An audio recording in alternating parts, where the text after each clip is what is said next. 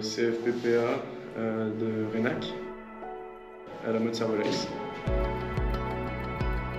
On constitue en Savoie et en région Auvergne-Rhône-Alpes. On a un carrefour en fait entre la Savoie, l'Ain, l'Isère et on est finalement qu'à une heure de Lyon. Donc on est euh, sur une zone quand même stratégique qui draine beaucoup de passages, beaucoup de monde.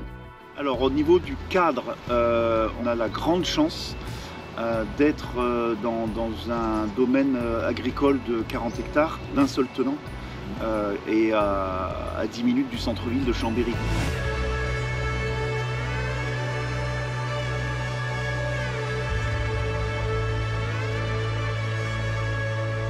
J'ai fait euh, un bike pro euh, paysage euh, ici à Renac. J'ai fait un sport-études donc pour devenir moniteur de ski à la motte aussi, du coup au lycée en bas. Moi j'ai un bac général, puis j'ai fait deux ans de STAPS et puis ça fait un mois je suis en réorientation et donc là j'ai atterri en BTS. Alors le BTS aménagement paysager, c'est euh, un diplôme qui forme donc euh, des techniciens pointus qui se destinent à travailler dans des entreprises euh, de paysage. Le BTS, il regroupe plein de matières différentes. On a un tronc commun de matière générale et puis on a des matières qui vont être très spécifiques au paysage, comme la technique, la conception. Ce que je préfère dans ma formation, c'est la liaison entre entreprise et école. Ça permet de lier théorique et pratique, donc euh, une, expérience professionnelle et une expérience à l'école.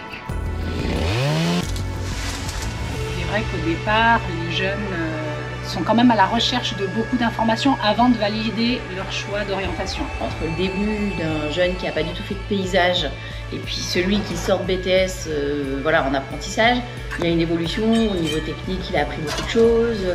En fin de formation, on retrouve quand même des jeunes qui sont plus sûrs d'eux, qui sont contents de la formation généralement qu'ils ont choisie.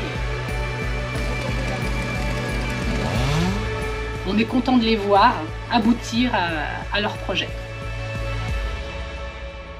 on est souvent euh, encouragé euh, par euh, les, retours qu'on a des jeunes 3-4 ans après avoir quitté le BTS. Ça nous fait toujours plaisir de voir qu'ils pensent à nous, qu'ils viennent nous voir et, et qui nous disent « Oh, c'était bien quand j'étais là à Renac avec vous ».